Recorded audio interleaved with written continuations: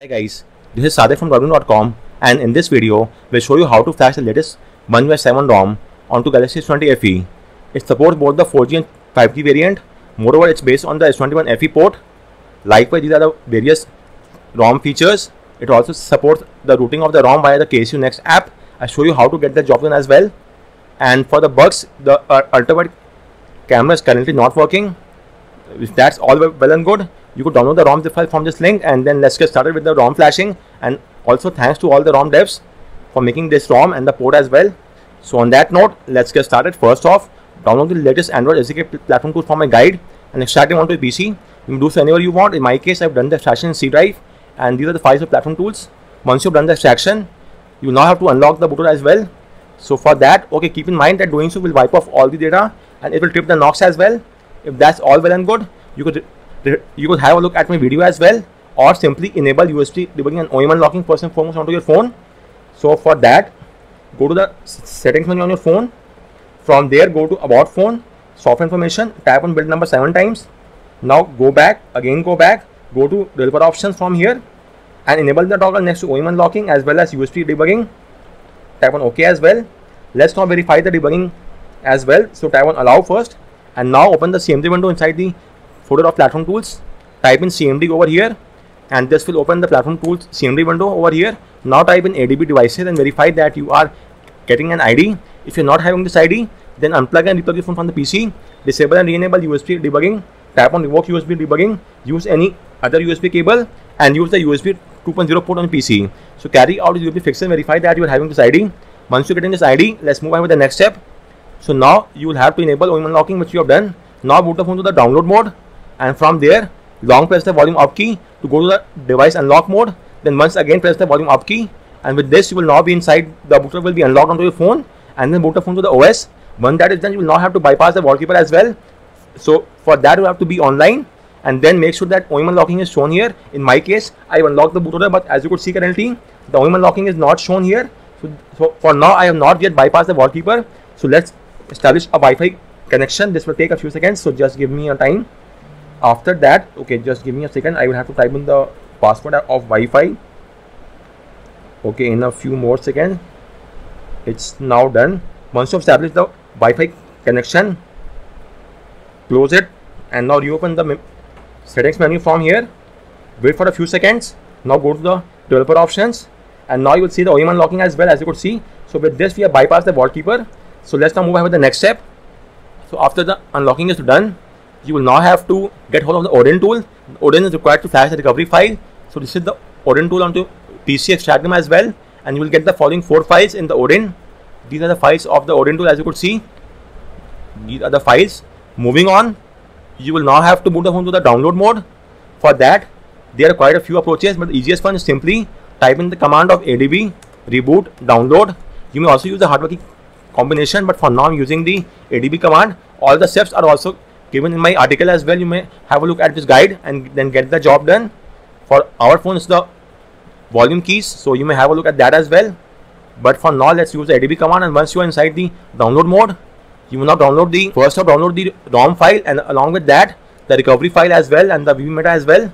So for that just give me a second. I will link the files here as well. So this is the article of flashing the recovery file onto our phone. Just give me a second. This should get the job done. Okay yes the recovery file should be over here. And uh, scroll down a little bit. Okay so this is the recovery file for our phone. Download the official recovery file. Once you have got the recovery file also download the vbmeta patch file as well. This is over here. Once you have got both the files let's load the file in the odin tool as well so I will link this guide and you may then get hold of the recovery file from your phone as well from the official recovery site. Just let me get the job done as well. So from here you may now download the recovery file from my this article and this is the vbmeta tar file. Both the files are required. Once you have got both the files, launch the Odin tool. First off, okay, click, hit the option tab and go there. Okay, before that verify that your phone is shown here in the COM port and in the lock section as well as you could see in the COM port my phone is now shown here in the COM4 section. So this signifies that the my phone is not shown in the Odin tool. So first off, go to the option tab, uncheck auto reboot. This is very important. now hit the AP button and load the recovery file onto your phone the recovery TWRP recovery for our phone this is not my phone okay this is my phone Lo load the recovery file for your phone click on open then in the data slot load the VB meta file which is this one the patch file of VB meta click on open both the files should be a tar format once you've got both the file hit the start button. The flashing will now start. Will take up to around 4 to 5 seconds only. Once the flashing has been done now press and hold the volume down and the power keys for for 7 to 8 seconds. And when that happens when the phone is about to undergo a restart then let go of the keys and then press and hold the volume up and the power keys. Let me show you what I mean. So first and foremost press and hold the volume down and the power keys for around 7 to 8 seconds. Keep on holding both the keys and as soon as the phone is undergoing a restart let go of the keys. Let me show you. Now let go of the keys now and press and hold the power up and the volume the volume up and the power keys. And keep on holding both the keys for 7 to 8 seconds as well. And now you may let go of this keys as well. So first off press and hold the volume down on the power key. Then press and hold the volume up on the power keys. And if you have done that right then the phone will now go to the RP recovery in a few seconds. But if you haven't pressed the key at the right time then the phone will boot to the stock OS or the stock recovery. In that case you will have to reflash the recovery via the Odin tool as well. In my case the flashing is now done and dusted. Okay it's very important in case of our S20 FE the recovery we have to wipe the following first, first off do the format data. After that this is a must. Likewise go back. Again go back go to advanced 5 and check mark the key data key refugee data and the metadata. All these four have to be wiped. It's very important. So I have to wipe.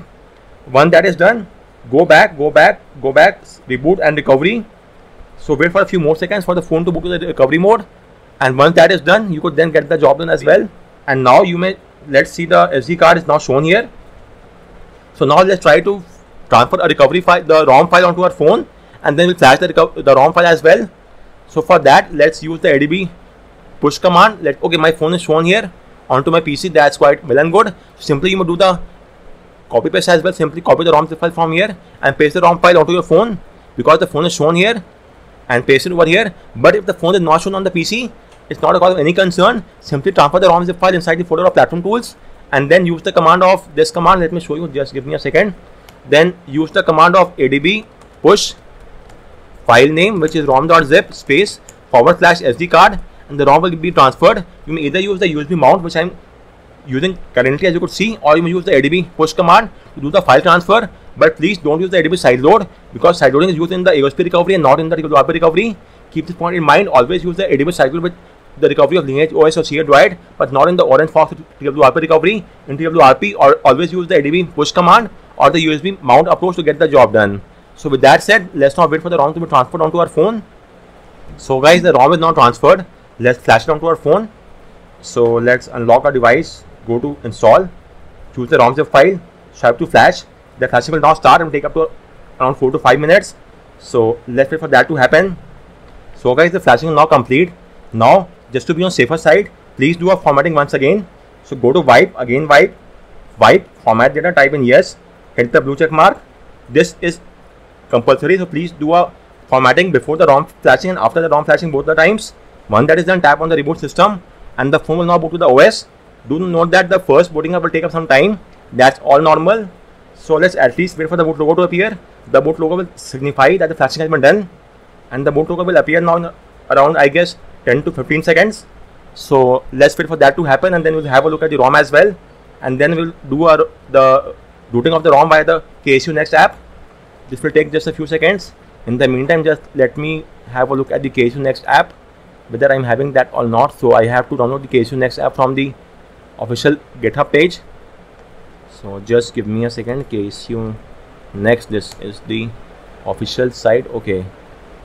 KSU Next github. This is their official web page from github. Go to the release section and from there I will link this as well if you want to obtain root which is optional. You may flash the KSU Next app onto your phone as well. The APK should be over here at the end. Let's call that and the APK will be given at the end of this link this is quite a lengthy page. And this is the APK file. Let's download the APK file as well. I am again repeating this all optional. I will show you how to obtain root as well. And we have got the KSU Next APK as well onto our phone. We will onto our PC we will then use the APK to obtain root as well. So this is the apk over here. Just i guess it should okay this is the apk file. So next okay the phone should now boot to the os in a few more seconds. So guys for the first time my phone went into a boot loop you could say because the first time the phone did not boot up but that's all normal. From the from the second time the phone is now inside the os as you could see the new one ui 7 so that's all normal please. There's nothing to worry about. It will take to boot up in the first time. So let's now start up with the rom.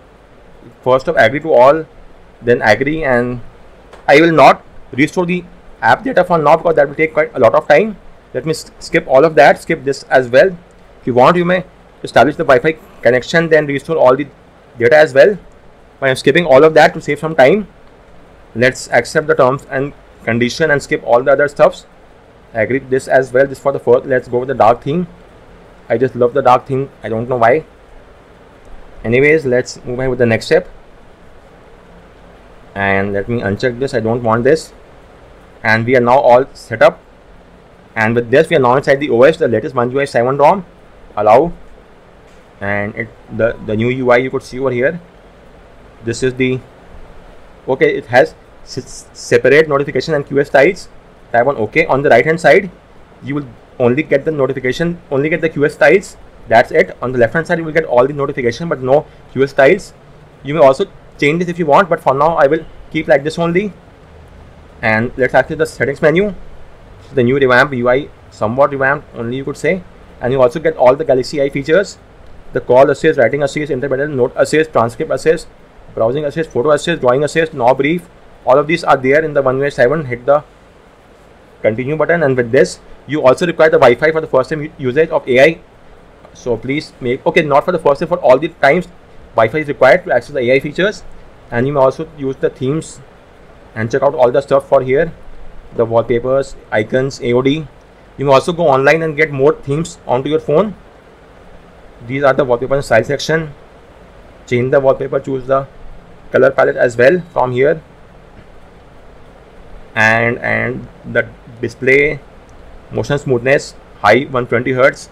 At all times standard will only get you 60 hertz. That will save some battery but it's not a viable option for me screen and AOD as well you can tweak all of them. Now Bar okay that is there. That's quite great to see. Let me just see.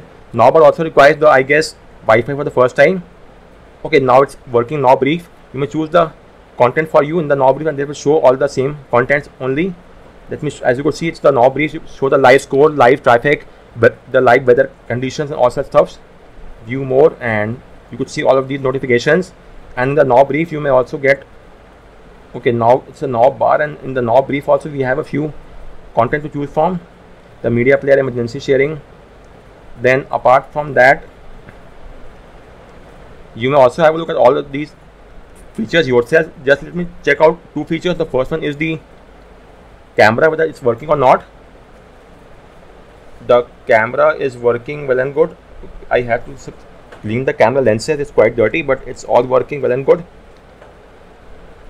let me show you a sample of the camera yes the camera is working and the photo is also somewhat nice you may also use the gcam if you want with the XML file, the XML config file. You also have the pre-installed Gemini app as well onto your phone. And circle to search is currently not there, I suppose. Okay, that is there as well. It's quite a handy feature. You have to be online once again to search for this. And apart from that, all the tweaks are currently working without any issue whatsoever on this phone. Okay, let's now try out the KSU rooting. So for that, install the get hold of the KSU APK file from this link, the official page of GitHub.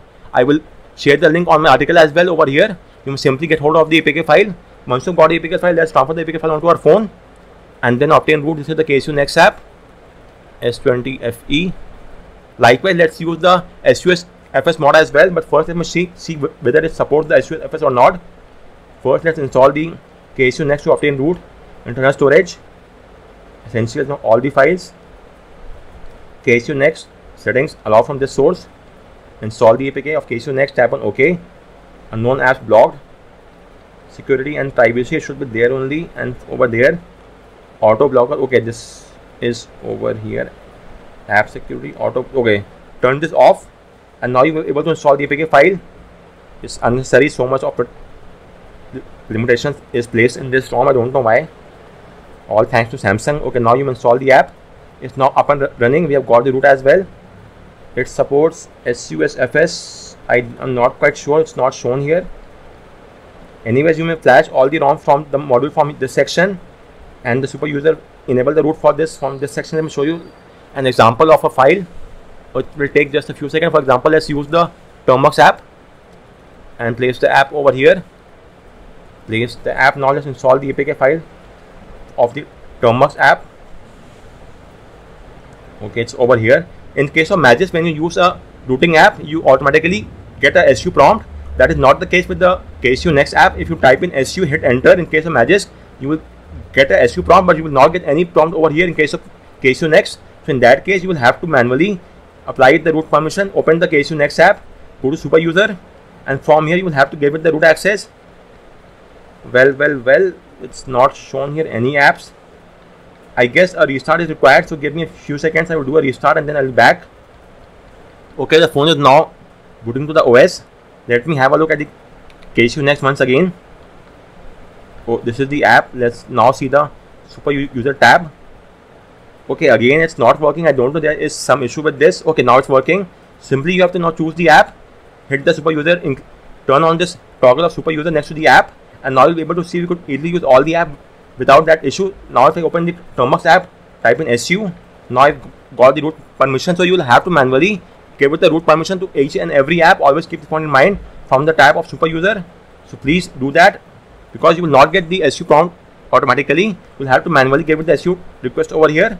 So guys, that's just about it. If you have any query with regard to any of the steps, do let me know in the comment section. And thanks a lot for watching.